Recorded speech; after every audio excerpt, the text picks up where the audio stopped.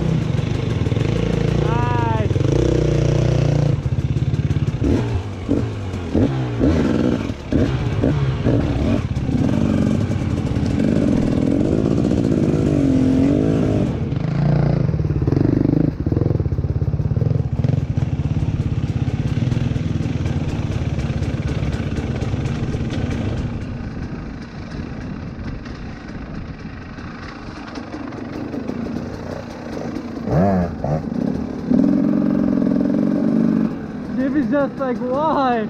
Why did we do this?